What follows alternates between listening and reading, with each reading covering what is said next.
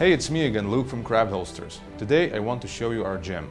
A leather holster with three carry positions is basically three holsters in one package.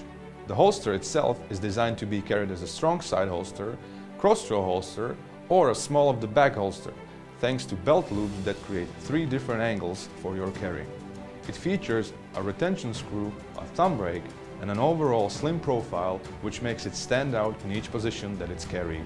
Its versatility will cover all your everyday carry needs and you will find your preferred position in no time. Premium quality leather that copies the contours of the firearm. Retention screw and a thumb break for optimal security in each position. A unique system of three belt loops that offers different angles for three carry positions. Double stitching in key points and threaded edges for more durability. Strong leather that will securely accommodate the firearm in each position. Putting your belt through these loops will allow strong side carry. Putting the belt through these loops will allow cross-draw carry. Putting your belt through these loops will allow small of back carry.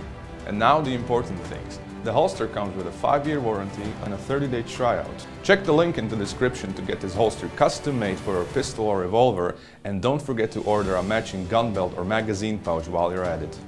Or check out craftholsters.com and browse through our selection of over 200 custom-made holsters.